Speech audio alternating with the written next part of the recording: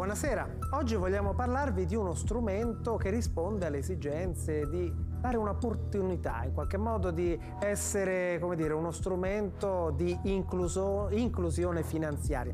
Parliamo di microcredito perché negli ultimi tre anni sono stati erogati finanziamenti di oltre 325 milioni di euro attraverso l'ente che è qui rappresentato dal suo presidente. Ente nazionale per il microcredito, qui con noi il presidente Mario Baccini, grazie e benvenuto. Grazie a voi, buonasera. Già ministro per la funzione pubblica dal 2004 al 2006, sottosegretario degli affari esteri, c'è tanto di cui parlare anche sulla politica di questi giorni. Subito dopo i titoli dei principali TG e la nostra sigla.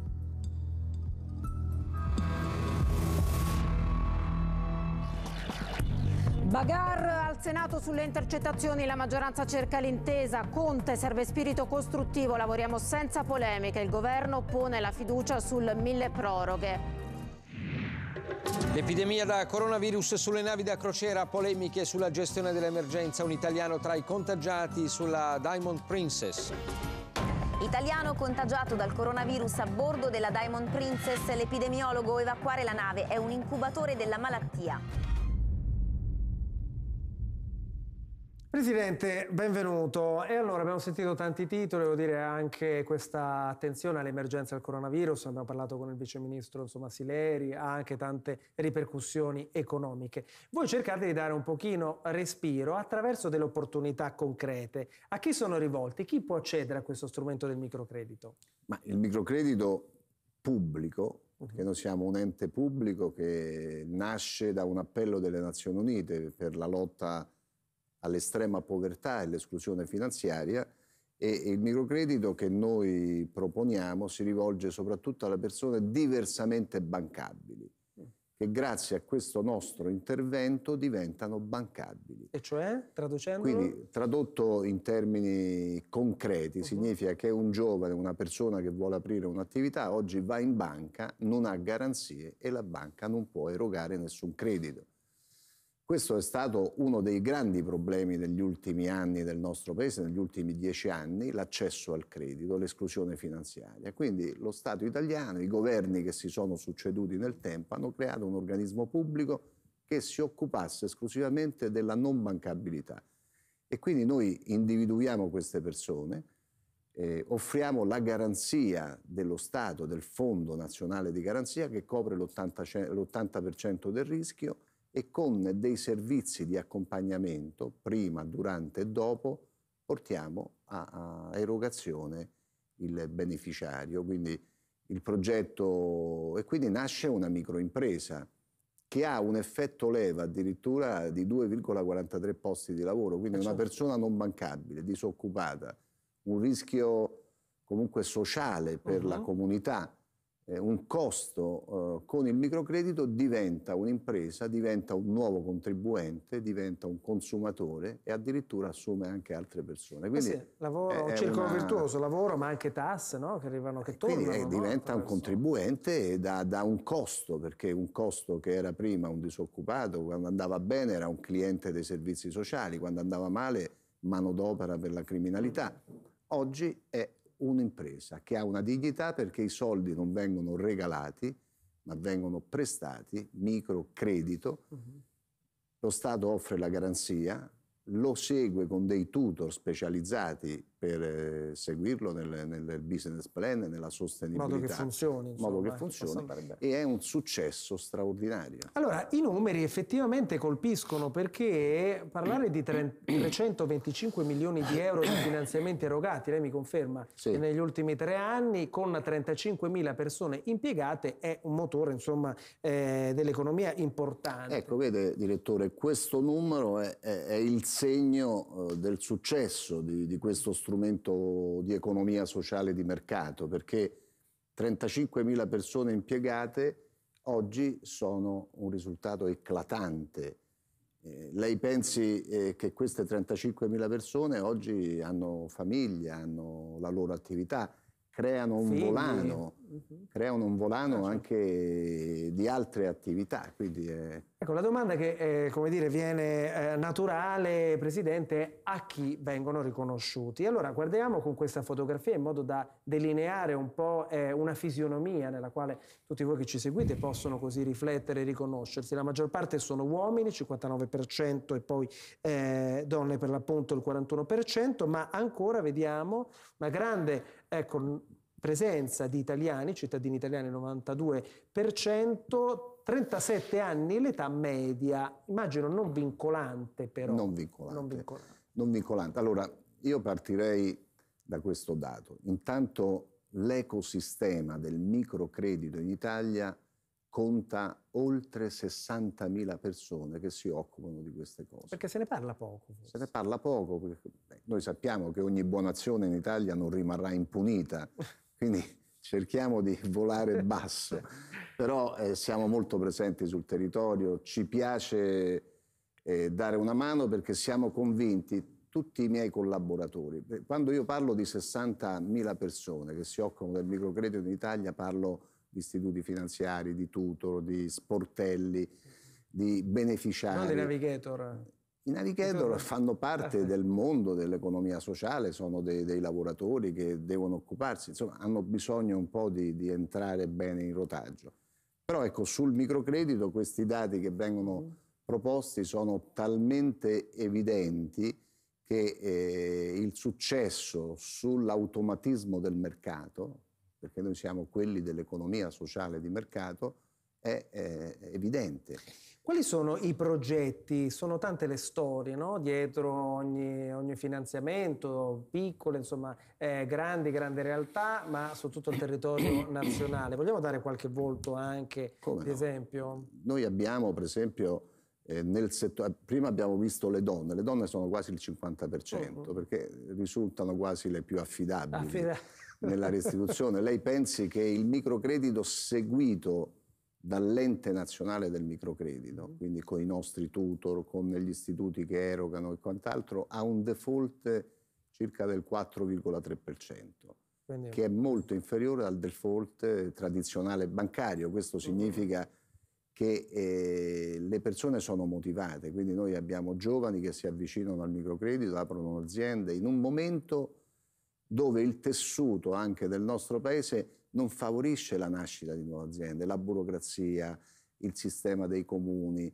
eh, tutti i vincoli anche fiscali. Quindi eh, non solo le persone che, fanno, eh, che usufruiscono dello strumento del microcredito aprono un'azienda, ma sono anche degli ambasciatori di nuova speranza, perché eh, veramente io delle volte guardo questi, queste persone che, che grazie al microcredito, ieri proprio ho visitato un bar a Fiumicino che ha aperto la propria attività eh, di microcredito e, e, questi sono veramente de, de, degli angeli perché aprire la seranda la mattina nel sistema italiano eh, dove c'hai un'aggressione quotidiana, noi dovremmo aiutare queste persone nelle pratiche buro burocratiche, invece ci sono ancora dei che problemi. Comunque anche loro sono esposti a tutto questo. Poi ecco, sono esposte. Le, eh, il successo è anche le, le, le, aziende innovative. Ecco, noi abbiamo molte aziende innovative, che giovani che presentano dei nuovi brevetti, che noi li sosteniamo nel settore dell'ambiente, perché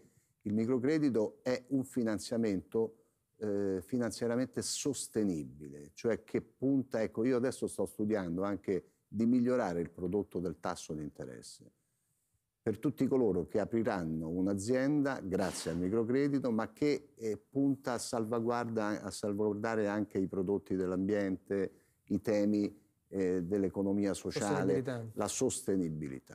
Allora, parliamo anche di numeri, un'altra domanda come se quasi ci scrivessero in questo momento, ma a quanto ammonta comunque il finanziamento massimo, per quanto tempo? Allora, noi eh, possiamo finanziare per legge fino a 25 mila euro, Dopo i primi sei mesi di ammortamento regolare mm. del pagamento delle prime sei rate possiamo dare altri 10.000 euro, quindi fino a 35.000 euro. C'è una proposta di legge che vuole portare il microcredito a 50.000 euro e noi sosteniamo questa proposta. Andiamo a vedere gli altri titoli per commentarli insieme, c'è tanta politica ovviamente. Eccoli.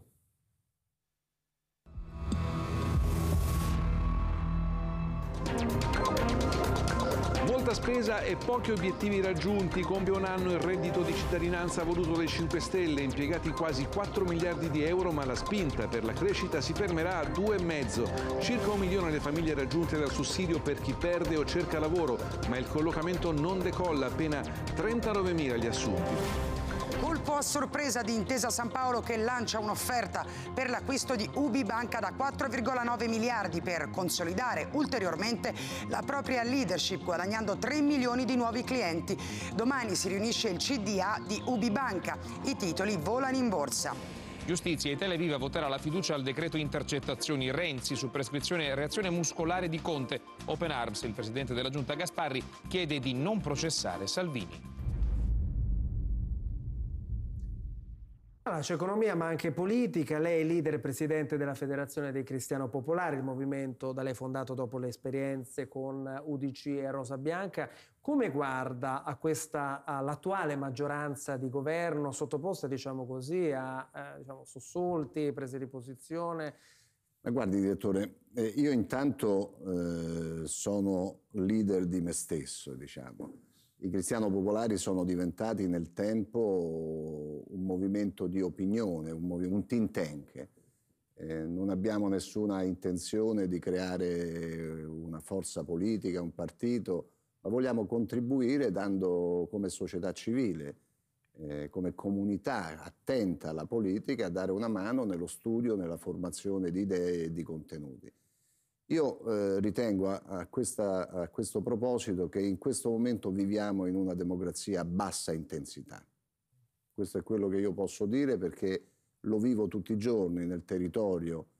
La rappresentanza è mortificata nel senso che le leggi elettorali non eh, sono così compiute da rappresentare tutto il corpo elettorale italiano i partiti nel frattempo, eh, noi non dimentichiamo che siamo e viviamo in una democrazia parlamentare eh, che prevede che il governo risponda al Parlamento e il Parlamento dovrebbe rispondere al popolo, quindi il popolo dà una delega al Parlamento. E oggi questo non succede, i partiti sono diventati lideristici e quando va bene il leader eh, se è illuminato fa bene, se è meno illuminato non c'è una democrazia interna che lo corregge in questo senso. E qui si capisce anche questo flusso di 20, 30, il 20-30% di elettori italiani che vanno a votare perché poi c'è tutto il resto del mondo che non va a votare. Quindi oltre L'ho visto anche nelle ultime regionali. Circa il 60% degli italiani decidono di non andare perché nel supermercato della politica non trovano, non trovano. il loro prodotto uno entra, un cittadino elettore nel supermercato, cerca il proprio prodotto, non lo trova, allora o prende un surrogato o prende un prodotto scaduto, oppure se ne va.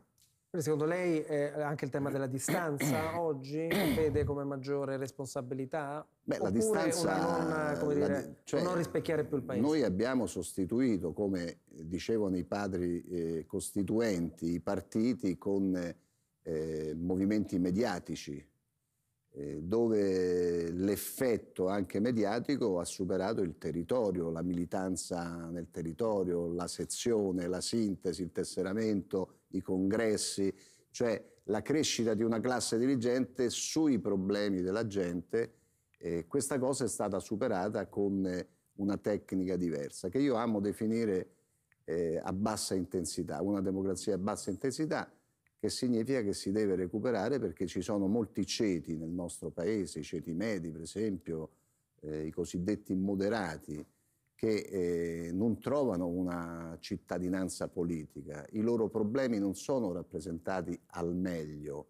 No, l'ascensore sociale mi sembra un po' bloccato in questo momento storico. Ecco, lei rappresenta eh, la realtà eh, dell'ente nazionale per il microcredito, abbiamo parlato quindi di storie, dall'altra eh, una misura molto voluta da questo esecutivo è quella del reddito di cittadinanza, sì. Eh, che risponde ad altre logiche, secondo lei è un sistema che, può, che funziona?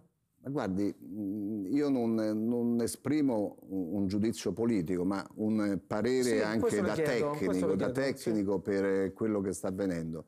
Il, il reddito di cittadinanza è un'intuizione che potrebbe funzionare, ma è una proposta ancora incompiuta, ha bisogno di, di un po' di tempo per affermarsi.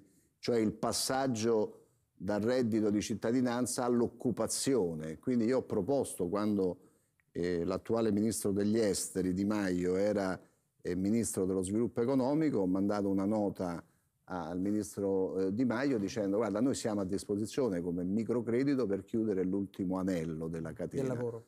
Quindi significa che i famosi eh, tutor di, del reddito Navigator, navigator, navigator eh, possono essere in collaborazione con i nostri tutor. Noi abbiamo circa 600 eh, tutor in tutto il paese che si occupano proprio di rete. Li mettiamo a disposizione di questo strumento per passare dal reddito di cittadinanza all'impresa, all'azienda, al lavoro. E allora noi parleremo di questo nei prossimi giorni perché ospiteremo anche il presidente dell'Inps, Tridico, occasione dunque anche per eh, presentare questo tipo di eh, riflessioni insieme. Grazie al presidente dell'ente nazionale per il microcredito Mario Baccini, grazie, grazie. per essere stato con noi. Grazie, grazie. Vi lasciamo allora un bel film, 110 lode, torniamo all'università ma in realtà è una storia bella di speranza con uh, Gio Pesci e Patrick Dempsey subito dopo di noi, la state per vedere eh, dopo la nostra sigla. Ecco dunque il film che vi aspetta tra qualche secondo, ma